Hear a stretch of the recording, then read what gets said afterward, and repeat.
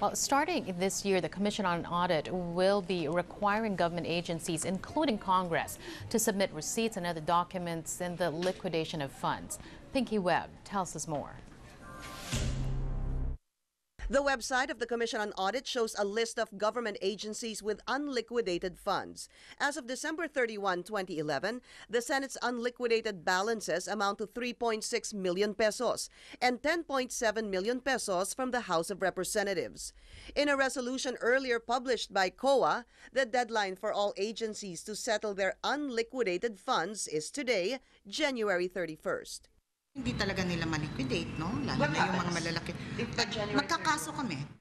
But it's going to be different this year, as agreed upon by COA Chairperson Grace Pulido Tan, Senate President Juan Ponce Enrile, House Speaker Feliciano Belmonte, and Senate Accounts Committee Chairperson Panfilo Lacson.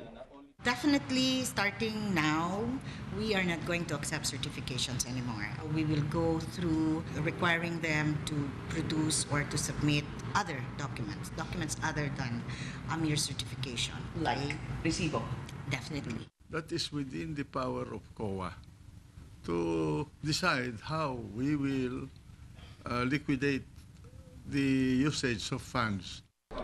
Enrile Belmonte and Tan also agree on the need for the finance and budget officers of Congress to coordinate with COA auditors. This even as Lacson is already working closely with the commission.